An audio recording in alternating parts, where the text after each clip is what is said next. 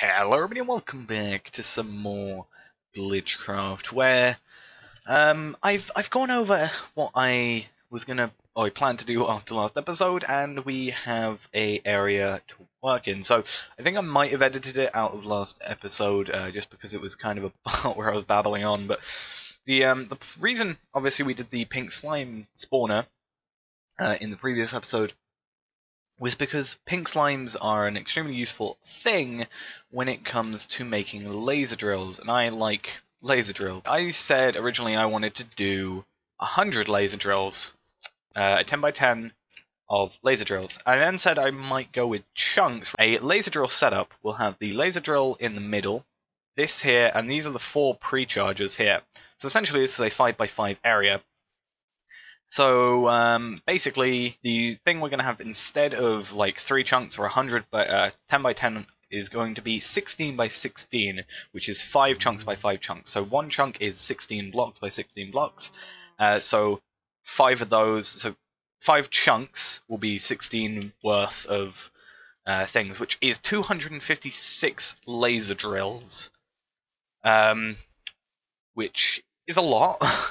That's how many laser drills we need. We then need four times that, which is 1024 laser drill, drill pre-chargers, and then we need nine pink slimes for each pre-charger, which means we're at, I think, if I did the math correctly, 9,216 laser drills. Or, or, or, not laser drills, pink slime, which shouldn't be too difficult. I think we're at like 3,000, no, 2,500, 2,489, so pretty close.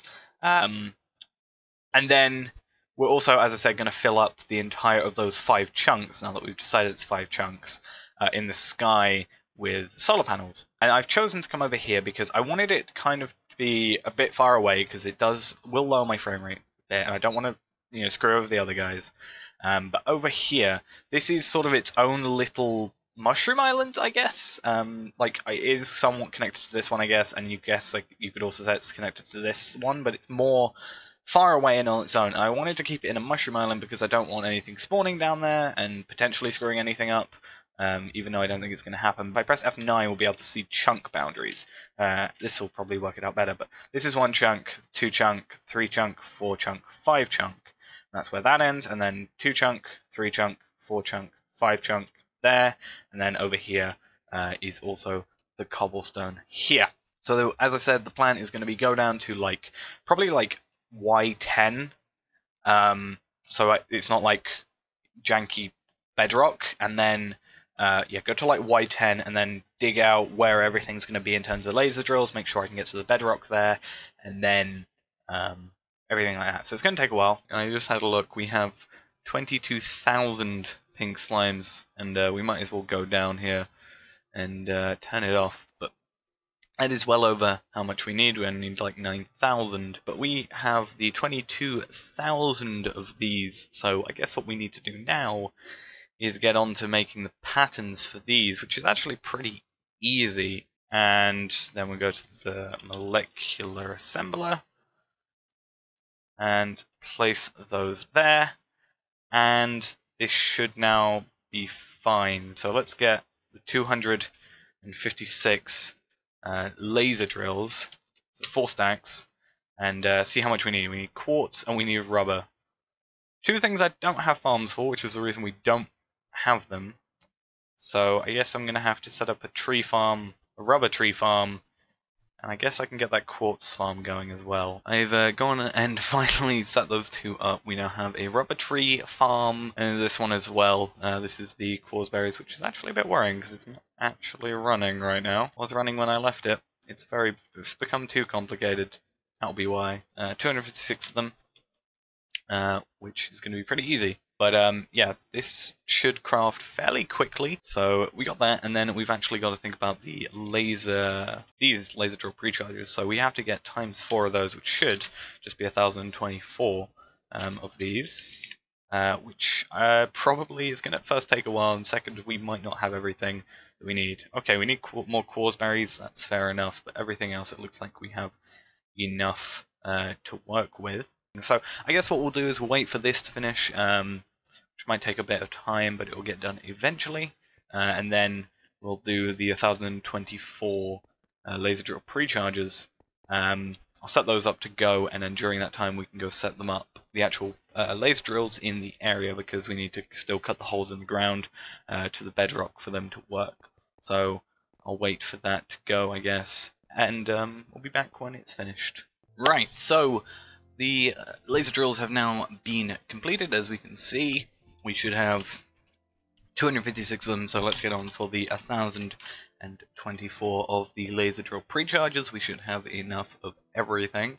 And uh, what was the thing we had the least of? We had quartz berries, which, or quartz berries, which we now have enough of.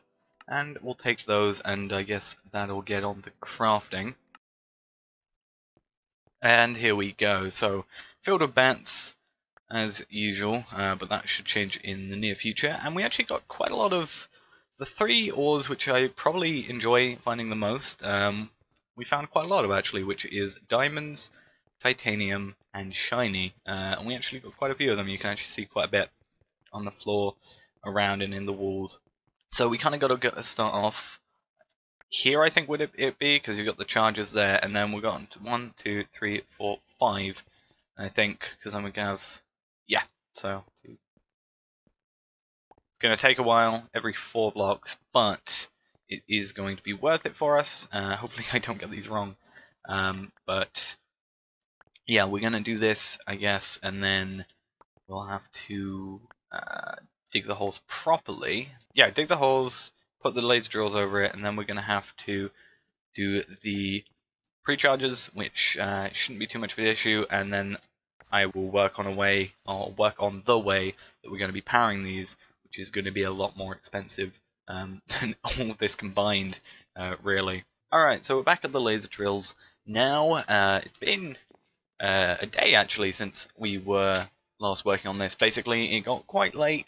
Well, finished recording the last clip, spent a couple more hours, it got late, so I uh, kind of carried on through the night. We uh, went and got a new type of magnet, an upgraded version of the one we had, so rare earth magnets of everything is now being pulled to us, including, I think, XP as well which is quite nice, except I keep on picking up stuff I don't want to pick up.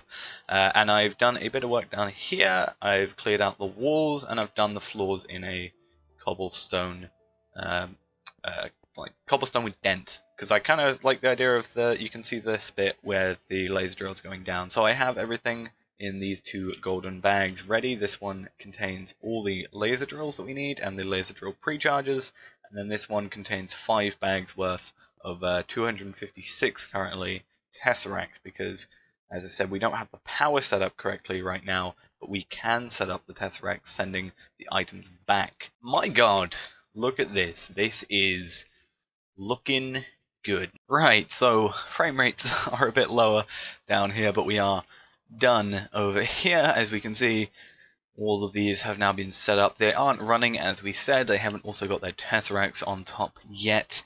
It's going to take a lot longer because I have to individually change each channel uh, or each security option, then which frequency it's on. Then it's uh, got to send it to receive or send items. Might take a while. Uh, it's going to be a slowly, slowly done thing. Uh, other than that, we're going to have to get onto the whole power situation, but uh, it's going to take a very long time in order to do that, uh, because obviously we want to utilize the entire area we have here uh, which is the 5 chunks by 5 chunks, which as we've already uh, worked out equals um, an 80 by 80 area, which is then a total of uh, 6,400 blocks uh, to fill, you know, one layer of each of that. And um, yeah, we're gonna. The plan is to fill that with solar panels. So 6,400 solar panels, um, which means uh, we might as well go for the highest tier, which is going to cost us a lot. And I don't even think I have, I don't even think I have enough redstone for 64 uh, solar panels. Because if I go solar right now, let's look at 64 of these. It's going to calculate eventually, but we don't even have enough crafting CPUs to work with that, so I'm probably going to have to upgrade the crafting CPUs again. Fun.